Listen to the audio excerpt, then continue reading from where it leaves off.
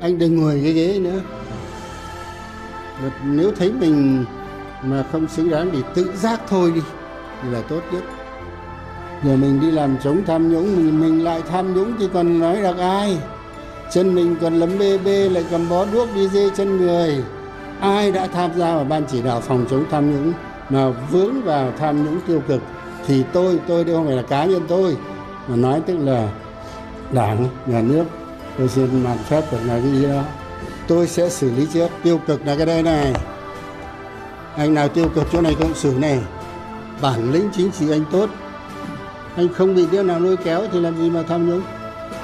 Nếu đạo đức anh trong sáng, anh giữ gì liêm sỉ thì làm gì phải đi tham nhũng? Cái đó là cái gốc. Nó mà bây giờ nó lắm mẹo lắm, nó đi vòng quanh, nó chả trực tiếp đâu. Nó qua trung gian, nó qua vợ con nó qua bạn bè. Phải tỉnh táo chứ. Tôi nói là tiền cũng quý, nhưng chết không mang theo được tiền. Danh dự mới là điều thiêng liêng cao quý nhất.